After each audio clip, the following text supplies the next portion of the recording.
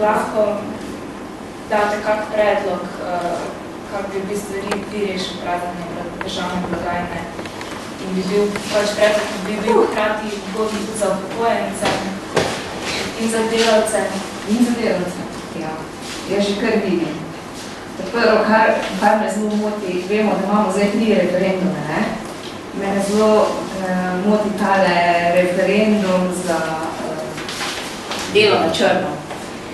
Eh, delo na črno vemo vsi, da je to taka eh, vreča denarja, kup denarja, ko bi se dal kar fajn napilati ta državni naš proračun, ne?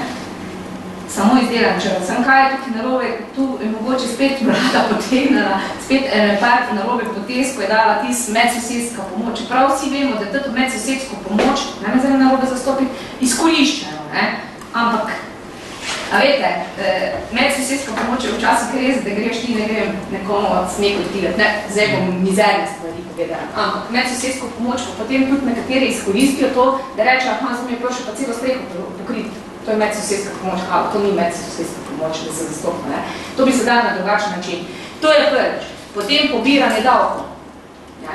Mi vsi vemo, pogledajte si tam, ne, koliko bi bilo davkov, prispevkov, plačanih od firm, da mi je kar slab zraven. Jaz ne vem, kak sploh ti delodajalci lahko pogledajo v oči zaposlen, ko jih niso. In tukaj država, kaj je naredila? Kaj je davčno naredila? Dve leti ni bilo plačanih prispevkov, halo? Ne me narobe zastopiti, en mali SP ne bo plačal prispevka, mu bo tako izvrž dala delčno. Ja, kaj pa tukaj, zakaj ni dala? Zakaj sem to upozoril? Z določenim namenom, vredno. Potem so pa nepobranih davkov, ne, davčno, mislim, potem lahko bi uvedli davek na mednarodne finančne transferje. To je ogromno denarja ogromno denarja. Jaz zdaj gospodar gledam iz eh, ministrstva, mi smo danes res na, na napačni, pa ni ne on, pa ne je za to kriva, ne. Mislim, to, da dajmo se zastopiti, ne. Ampak tu so res take stvari, ko bi se dali ogromno denarja na spravi. In jaz mislim, da če bi sam tukaj, mi ne bi bili danes, sploh ne tukaj, ko se v tem pokojninski reformi pogovarjali, če bi znali to pobrati. Če bi znali to pobrati pa ne znamo, ali pa močemo. To je pa zdaj, sta dva, dva argumenta. Glejmo si tekune. Kam je šel ta denar? Dober nič. Zakon imamo napisane tako, kako jih imamo. To so izkoristili prid. Da se pobra denar. Poglejmo si, prispevno skop na delo dajalcev. 8,81, ni pa 15,5 če se ne motim, sem se prav povedala, da ne me besedo držati. Koliko manj imajo uh, uh, prispevko plačanih v mi? 8,85. Ja, se, se zato sem, eh, sem rekla popravko, ne, če nisem pravo čisto točno povedala. Koliko je to manj plačanih prispevko? Zakaj? Zakaj imajo delodajalci pri odmeri pokojnine 8,85, ni pa 15,5. Zakaj? Se vprašam, mislim, a veste, tu so take stvari, ko so možne dovolj, dovolj, dovolj, da bi se dala ta blagajna državnih, potem eh, gospod iz eh, omenil eh, javne uslužbence. Javni uslužbenci, polno nekih zavodov imamo, lepo vas prosim. Jaz bom dotaknila zdaj tega NPZ-ja. Tisoč zaposlenih ljudi.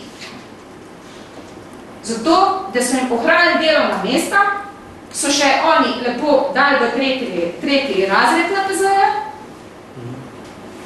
še v tretji razred, zato, da bojo ohranili delovna mesta. Kdo pa v gospodarstvu vprašal, če gre firma, kako bojo ti ljudje eh, ohranili delovna mesta? Lepo tane na zavod. čist enostavno dejstvo so to. Preprosto dejstvo. Link današnje tema, ne? Vi ste mene vprašala, na kakšen način se lahko fila državni premaka in jaz vam lepo odgovorila. Tudi z zmanjšanjem javno finančnih izdatkov. izdatkov. Ja, točno to. Če, če, če gremo po vrsti, recimo eh, delo na črno, zakon o preprečevanju dela na črno, tam je, mislim, da ocena okoli 9 milijard letno gre malo mimo. To je naša črna oziroma siva ekonomija. Ne? Um, ta nesrečna sosedska pomoč, mislim, to je še en uh, odličen dosežek naše strateško zelo dobro podkovane vlade. Ne? Je zanimivo to, da ne znamo pri temu povedati tega, da v bistvu sosedsko pomoč v primerjavi s prejšnjim zakonom širimo. Dejansko, kar je v tem zakonu o preprečevanju dela na črno pri sosedski pomoči napisano, širi definicijo sosedske pomoči, tako da je lahko več, kot je bilo prej. Ampak je to res, v bistvu to, kar je gospod rekla, to je politikanstvo in v bistvu to referendumsko nabijanje gor-gor.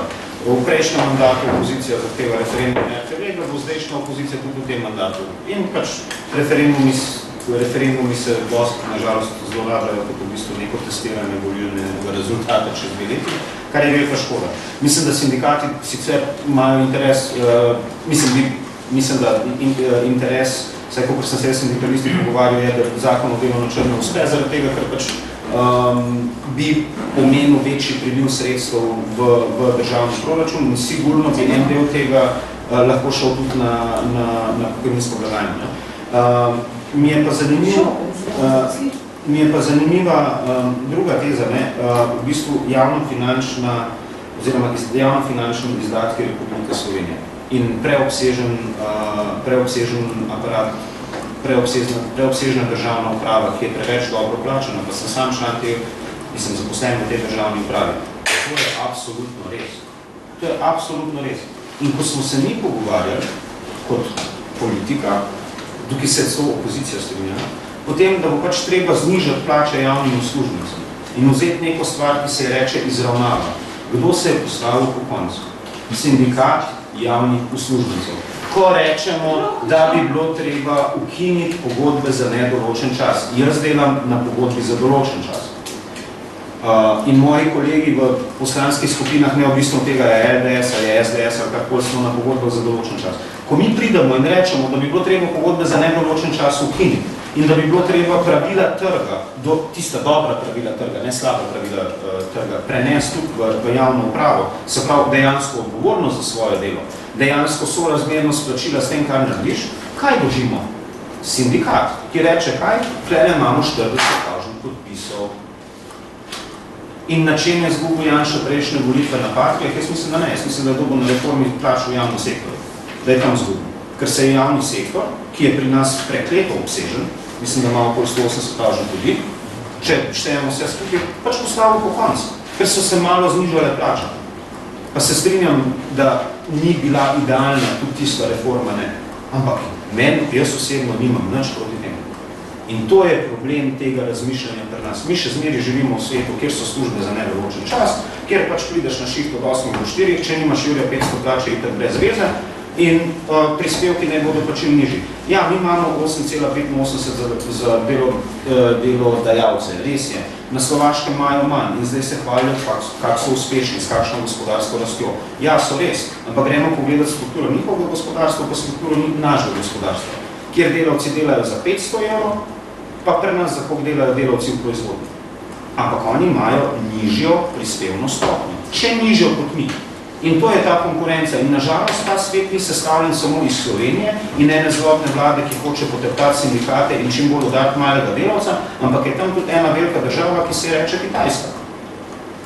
In recimo imamo Bosch Siemens Nazarje v Sadinski dolini, ena socialno zelo korektna firma, firma čudovito sodeluje s sindikati, uh, res uh, imajo dobro plačana delovna mesta, ampak kaj jih sprašuje njihova mama iz Nemčije, zakaj mi plačujemo za slovenskega delavca, ki se stavi mikser za, palični mikser za okupno, zakaj, ga, zakaj nastane Jurija, če nas na kitajskem stane 100.